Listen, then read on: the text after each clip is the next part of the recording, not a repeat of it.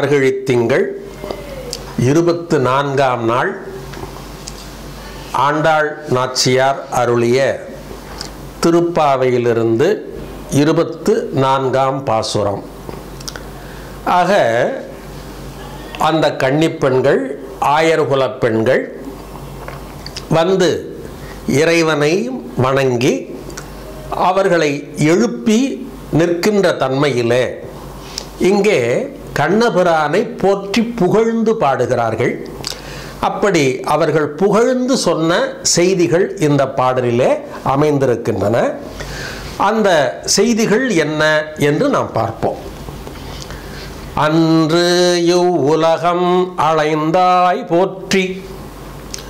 அன்று இவ்வுலகம் அளந்தாய் அடி போற்றி சென்று அங்கு தென்னிலங்கை செற்றாய் அடி போற்றி அன்று இவ்வுலகம் அளந்தாய் அடி போற்றி சென்று அங்கு தென்னிலங்கை செற்றாய் திரள் போற்றி பொன்று அச்சகடம் உதைத்தாய் புகழ் போற்றி கன்று குணிலா எரிந்தாய் புக கழல் போற்றி கன்று குணிலா எரிந்தாய் கழல் போற்றி. குன்று குடையாய் எடுத்தாய் குணம் போற்றி. வென்று பகைகடுக்கும் நின் கையில் வேல் போற்றி. என்றென்றும் சேவகமே ஏத்தி பறைகொள்வான்.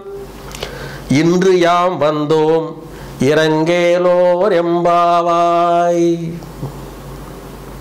கண்ணபிரானே நாங்கள் பறைகொள்வான் இன்று யாம் வந்தோம். இங்கே பறை என்பது ஒரு கருவியையும் குறிக்கும் இறைவனுக்கு தொண்டு செய்யக்கூடிய தன்மையையும் குறிக்கும். ஏனென்றால் அவன் புகழ் பாடுதல் என்றாலே அதுவே அடியவர்களுக்கு பேரின்பம். அவனுடைய திருநாமத்தை உச்சரித்தாலே அனைத்தும் பக்தனுக்கு கிட்டும். ஆகையினாலே தான் திருமால் எடுத்த அவதாரங்களிலே அவர்களுடைய அத அவதார சிறப்பை இந்த கன்னிப்பெண்கள் கூறுகிறார்கள். அப்படி ஒவ்வொரு அவதாரமாக சொல்லும் பொழுது வாமணனாக இருந்து திருவிக்கிரமனாக மாறிய அவதார சிறப்பை முதலிலே சொல்லுகிறார். அன்று இவ் உலகம் அளந்தாய் அடிபோற்றி. முன்பொரு காலத்திலே மாபலி சக்கரவர்த்தியினுடைய ஆணவத்தை அடக்குவதற்காக வாமணனாக வந்து மூன்றடி நிலம் கேட்டு பின்பு திருவிக்கிரமனாக திருவிக்கிரமனாக உயர்ந்து இந்த மூவுலகங் அதாவது உலகங்களையெல்லாம் அளந்து அந்த திருவடியை அவன் தலைமேல் வைத்தாய் அல்லவா? அப்படிப்பட்ட ஒப்பற்ற திருவடிக்கு வணக்கம். போற்றி என்றால் வணக்கம் என்று பொருள்.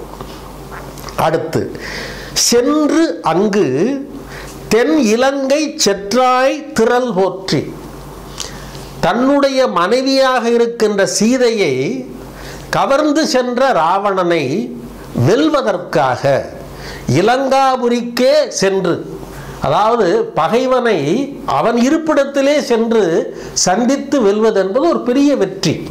அப்படிப்பட்ட இலங்காபுரிக்கு சென்று ராவணனை நீ என்ன செய்தாய்? செற்றாய். செற்றாய் என்றால் வெற்றி கொண்டாய் சினம் கொண்டாய். அப்படிப்பட்ட திரள் போற்றி உடைய வலிமை போற்றுகிறோம் வணங்குகிறோம். ஆக வாமணனாக வந்த உன்னுடைய அந்த திருவடியை நாங்கள் போற்றுகிறோம். அடுத்து ராவணனை வென்றிருக்கக்கூடிய உடைய வலிமையை நாங்கள் போற்றுகிறோம். ஏனென்றால் வலிமையும் நீதான். எளிமையும் நீதான். எல்லாமும் நீதானே. உன்னை தவிர வேறு யாரை எங்களுக்கு தெரியும் என்று நினைக்கின்றார்கள். அடுத்து கிருஷ்ணாவரத்தார் அவதாரத்தில் நடந்த ஒரு நிகழ்ச்சி பொன்று அச்சகடம் உதைத்தாய் போற்றி. அதாவது சக்கராசுரனாக வந்தவன் கம்சனால் ஏவப்பட்ட ஒரு அரக்கன் சக்கர வடிவத்திலே வருகிறான். அவனை காலாலே உதைத்து அவனை அழித்த கண்ணபுரானே உன்னை போற்றி நாங்கள் வழிபடுகிறோம். அடுத்து கன்று குணிலாய் எரிந்தாய் கழல் போற்றி. இதுவும் கிருஷ்ணாவதாரத்திலே அவர் குழந்தையாக இருந்த பொழுது அவருடைய தாய்மாமனாக இருக்கின்ற கம்சன் அவரை கொல்வதற்காக என்ன செய்கிறார் என்று சொன்னால் ஒரு மூன்று அசுரர்களை அனுப்புகிறார்கள். அதில் ஒரு அசுரனுக்கு பெயர் கபிதாஸ்வரன் என்று பெயர். அவன் விழாமரமாக நிற்கின்றான். விளாமரமாக நிற்பதனுடைய காரணம் அந்த குழந்தை தவழ்ந்து வரும்பொழுது அந்த மரம் சாய்ந்து அவனை கொல்ல அந்த குழந்தையை கொல்ல வேண்டும் என்பது அந்த கம்சனுடைய கட்டளை. அப்படி விளாமரமாக கவிதாசுரன் என்று சொல்லக்கூடிய அரக்கன் நிற்கின்றான். அப்புறம் பத்தாசுரன் என்று சொல்லக்கூடிய ஒருவனை கன்றாக சென்று ஏனென்றால் கண்ணபுரானுக்கு கன்றுகளை பிடிக்கும் அல்லவா? ஆகையினால் கன்றாக சென்று அப்படியே அந்த கிருஷ்ண பகவானை அந்த குழந்தை கிருஷ்ணனை கொல்ல வேண்டும் என்று இரண்டு அரக்கர்களை அனுப்பி வைக்கிறான் கம்சன். அப்ப விழாமரமாக ஒருவன் கன்றாக ஒருவன் நிற்க அந்த குழந்தை கண்ணன் அருகிலே செல்கிறான் பலமாக சிரிக்கிறான் கன்றை இரண்டு கா இரண்டு பக்கமும் அந்த கால்களை பற்றுகிறான் பற்றி விளாமரமாக இருக்கின்ற அவன் மீது அப்படியே எரிகிறான். எரிந்த உடனே அந்த விழாமரமும் கீழே விழுகிறது கன்றும் கீழே விழுகிறது. இதைத்தான் சிலப்பதிகாரத்திலே கன்று குணிலா கடிகுத்த மாயவன் இன்று நம் ஆணில் வருமேல் அவன் வாயில் கொன்றையம் தீங்குழல் கேளாமதோழி என்று ஆய்ச்சியர் குறவையிலே இளங்கோவடிகளே பாடியிருக்கிறார் என்பதை இந்த இடத்திலே நாம் சிந்தித்து பார்க்கலாம். ஆகையினாலே அதை சொன்னார். அடுத்து மூன்ற அடுத்து சொல்லுகிறார் குன்று குடையாய் எடுத்தாய் போற்றி. இதுவும் கிருஷ்ணாவதாரத்திலே நடந்த நிகழ்ச்சி தான் அதாவது ஆயர்கள் எல்லோரும் கண்ணனை பரவத் தொடங்கினார்கள். கண்ணனை கண்ணனை பரவத் தொடங்கிய உடனே அவர்கள் இந்திர வழிபாடு என்று சொல்லக்கூடிய ஒரு வழிபாட்டை விட்டு விட்டார்கள். ஆக எங்கள் முழு முதற் கடவுளாக இருக்கின்ற கண்ணனை வழிபடுவோம்.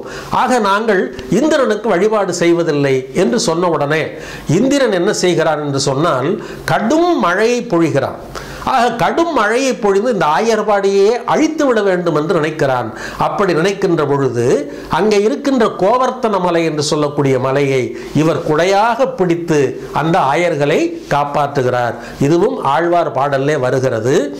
இதை ஆழ்வார் சொல்லுகிறார் குன்றம் ஏந்தி குளிர்மழை காத்தவன் அன்று ஞாலம் அளந்த பிரான் பரன் சென்று சேர் திருவேங்கட மாமலை ஒன்று வேதொழ நம்பினை ஓயுமே. ஆக குன்றும் குன்றம் ஏந்தி குளிர்மழை காத்தவன் என்று ஆழ்வார் சொல்லுகிறார். அப்படிப்பட்ட அந்த குன்றை குடையாக எடுத்தவன் அவனுடைய குணத்தை போற்றுகிறோம்.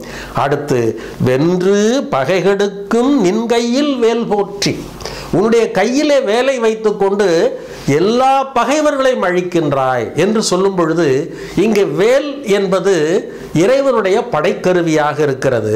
அப்ப வேலை எதன் நிமித்தமாக சொல்லுகிறார் என்றால் ஞானத்தின் அம்சமாக வேலை சொல்லுகிறார். ஏனென்றால் ஞானம் என்பது அகன்றிருக்கும் ஆழமாக இருக்கும் அடுத்து கூர்மையாக இருக்கும். அப்படிப்பட்ட ஞான விரல் உடைய வேலை உடையவனே. இன்று யாம் வந்தோம் இன்றைக்கு உன்னை பாடி பரவிக்கொண்டு வந்திருக்கிறோம். இறங்க இறங்கேலோர் எம்பாவாய். எங்கள் மீது நீ இரக்கம் காட்டாயா? காட்ட மாட்டாயா? ஆக நீ இரக்கம் காட்ட வேண்டும். ஏனென்றால் இத்துணை வல்லமைகளை செய்த நீ சிறுமியராகிய எங்களுக்கு நீ இறக்கப்படாமல் இருப்பாயா? அந்த தேவர்களுக்காக ஆயர்பாடி மக்களுக்காக என்னென்ன செய்தாய்?